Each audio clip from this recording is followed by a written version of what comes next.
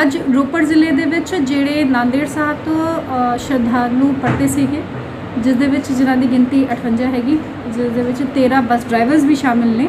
ਉਹਨਾਂ ਦੀ ਸੈਂਪਲ ਦੀ ਰਿਪੋਰਟ ਦੇ ਵਿੱਚ 19 ਸੈਂਪਲ 네ਗੇਟਿਵ ਪਾਏ ਗਏ ਨੇ, ਦੋ ਪੋਜ਼ਿਟਿਵ ਕੇਸਸ ਨੇ, ਜਿਹੜੇ ਆਲਰੇਡੀ ਗਿਆਨ ਸਾਗਰ ਸੈਂਟਰ ਮੈਡੀਕਲ ਸੈਂਟਰ ਦੇ ਵਿੱਚ ਉਹਨਾਂ ਦਾ ਇਲਾਜ ਚੱਲ ਰਿਹਾ ਹੈਗਾ।